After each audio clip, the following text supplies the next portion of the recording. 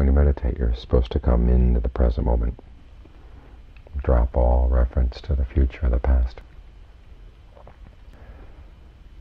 But some futures and some pasts are easier to drop than others. Even if you can drop them for the time that you're in the meditation, you've got to come back and live with them. When you come out of meditation. It's all issue of the narratives of our lives, the stories we tell ourselves. If we could just drop them and be done with them, life would be awfully easy. Meditation would be easy.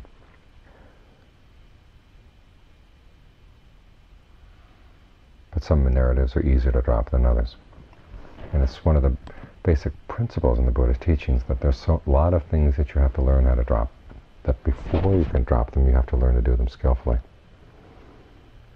And the stories you tell yourself about your life, those are one of the things you have to learn how to do skillfully. Because otherwise you can come out of a really nice, peaceful meditation and there's the same old rotten story all over again. And you find yourself relating to it and getting tied up in those stories again and again and again. So oftentimes a good part of the meditation is not just being with the breath, but if you find that you've got a, a story that keeps obsessing the mind, stirs up greed, anger, delusion, fear, whatever, you've got to learn how to deal with it. Learn how to tell yourself new stories. Learn a corrective to the old stories. And one of the basic ways of doing this is reflecting on that chant we had just now and goodwill, compassion, appreciation, and equanimity. Trying to develop these four attitudes with regard to those stories so that you can tell yourself new stories that then are easier to let go of in a very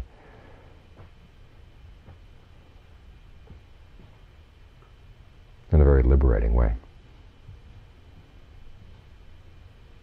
In other words, you don't throw them down. You weave a new story, and then you get to the point where it's time in that story just to settle down and meditate. And the story leaves you alone. When you come back out of meditation, the story is still there, and it's not a story that's going to get you worked up. Because it's been refashioned. You learn to get more and more skillful at the way you tell stories in the mind. Starting out with an attitude of goodwill. First, goodwill for yourself. You realize that if you sit there and keep telling yourself these bad stories over and over again, you're going to suffer. Do you want yourself to suffer? Well, no. Do you want other people to suffer? Well, maybe. You think about people who've done things to you, been wronged you. You have to ask yourself, well, what, what are you going to get out of their suffering? You don't benefit in any way from their suffering. And the fact that you're sitting there wishing suffering on them is just going to get in the way of your meditation.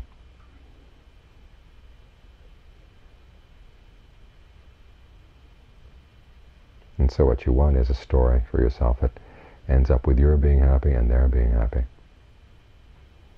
That's your wish.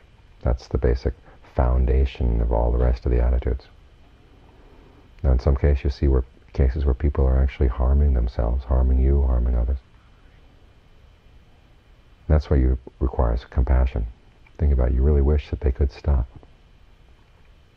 And of course the same thing applies to you when you're harming yourself you wish you could stop causing that harm. It would be good that that harm not be caused. It would be good if those people not suffer. Remind yourself of that attitude. Appreciation, you remind yourself of your goodness, the goodness of other people. The things you've done that make you deserve to be happy. The things other people have done that deserve that they be happy. You're not jealous and you don't downplay their good points. And then finally, equanimity. When you realize there are some things that are just beyond your control, no matter how much you have goodwill for other people, no matter how much you feel compassion, appreciation, there are some things that are just totally beyond what you can do, what you can handle, what you can change. Number one, the past cannot be changed. You have to develop equanimity towards the past. And look at what the Buddha has you develop.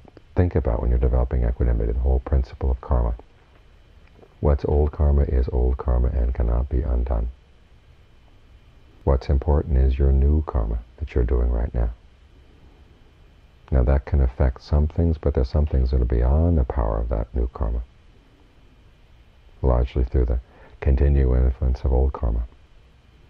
You've got to think about that. And learn how to develop equanimity in cases where equanimity is appropriate. The Buddha isn't saying that equanimity is better than the other three. It's just you learn how to, which situations to apply which feeling to.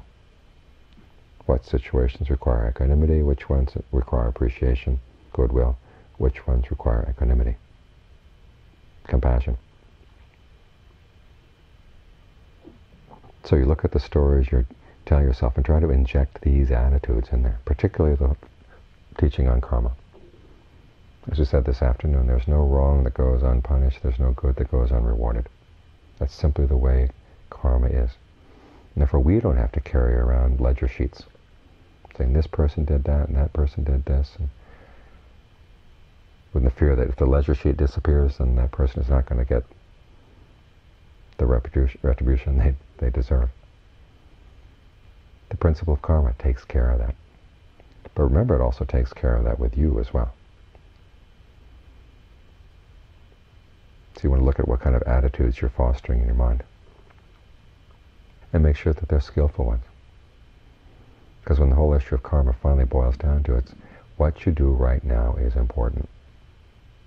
What was done in the past may have some influence on what you can do right now. And so when bad things come, you accept them. Well, that's a, a result of past karma. But if you realize you're doing bad karma in the present as well, okay, then that's that's something that you can't have equanimity for. You've got to change it. You can do your best in whatever the situation is. Confident that, that it'll work out. If you keep on doing and saying and thinking skillful things, then the results are going to have to be good. So no matter how bad the situation is, okay, your hope right here is what you're doing right here, right now. And the more you think about this, the more it brings the mind into the present moment. And that's when it's ready to meditate.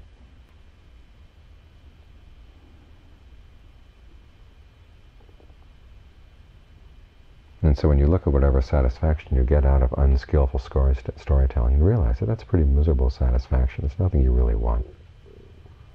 It's nothing that stands up to any kind of real scrutiny. And you find it easier to let go. You've got these other attitudes that will bring you into the present moment in a way that you can feel good about yourself. You're not allowing yourself to be victimized. At the same time, you're not wishing ill on anybody. You do what can be done given the situation. And when the time comes that the mind needs a rest, the mind needs to settle down, okay, that's what should be done right now. That's the best thing you can do right now.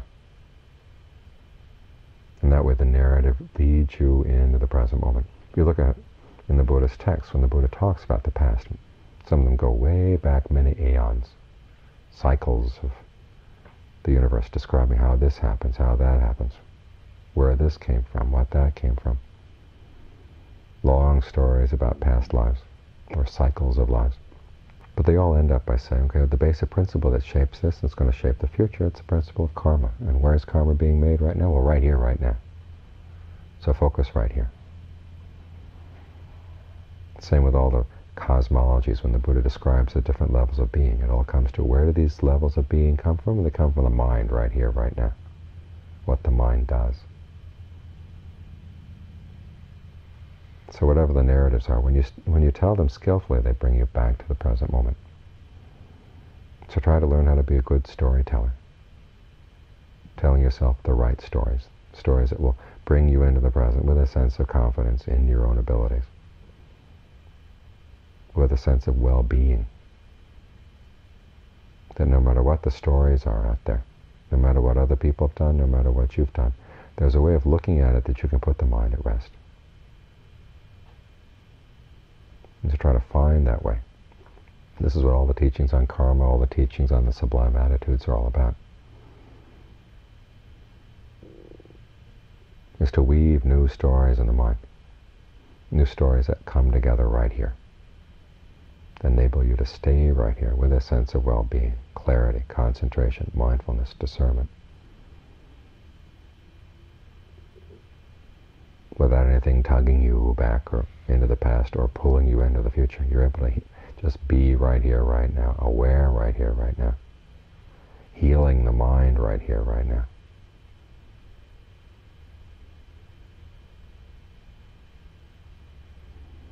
And that's how you use your the mind's story telling ability to bring it to a point where it can just stop telling stories. And just look at what you've got. Learn to be skillful with what you've got right here, right now.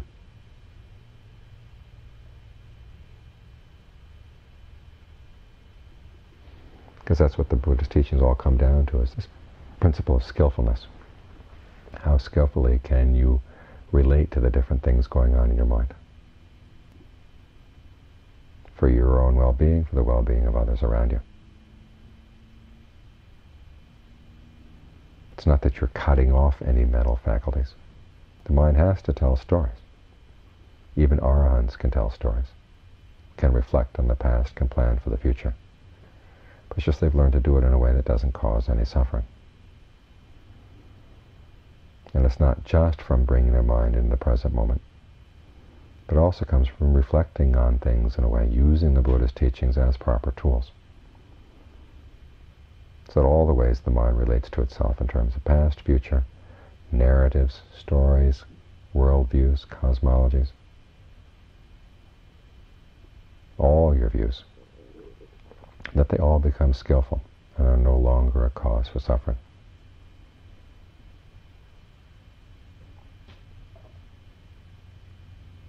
So think of the practice as an all-around process of training the mind, not just getting it very skillful in noting or getting it very skillful in being with the breath, but very skillful in all that it does.